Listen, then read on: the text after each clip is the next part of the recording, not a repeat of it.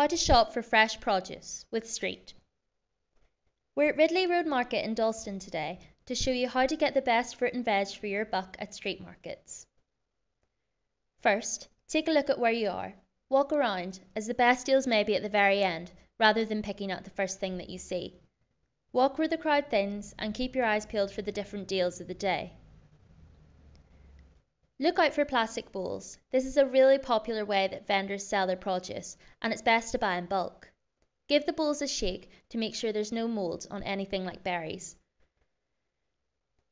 Research what's in season before you go.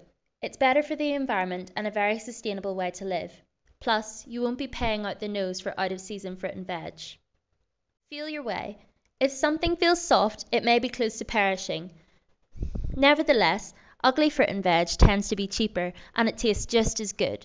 Don't be afraid to pick things up and have a closer inspection. Plan your trip. Go early in the morning or later in the day when vendors want to offload their items and you'll get the best deals.